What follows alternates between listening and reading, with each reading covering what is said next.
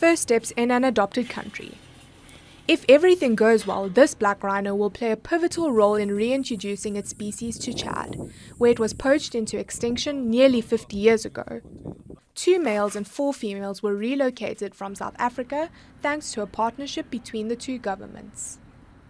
We are thankful to South Africa, who were able to conserve its rhinos until today, and for now allowing other African countries try and do the same. Their journey began three months earlier and more than 4,000 kilometers further south in the Marakele Park where the rhinos were captured. The nearly one ton animals are moved to another park within the country to prepare them for the 15 hour flight to Chad under the watchful eye of several veterinarians. That takes about three months to get them down to a, to a level that you can actually touch them and they're quite comfortable with human contact. It just makes them move in the aircraft so much easier.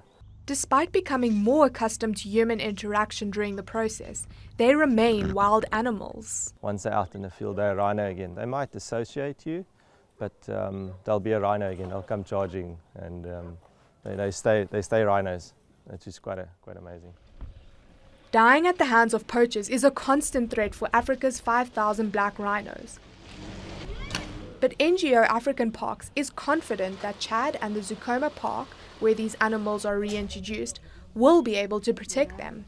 We are confident enough of the political will in Chad, of our management expertise, with good funding from the European Union. We believe that we have the recipe to create a, a, a good um, uh, situation for rhino to thrive once again in Chad, where they've been extinct for many decades. After a few weeks of getting used to the different food and climate, the rhinos will be released into the wild.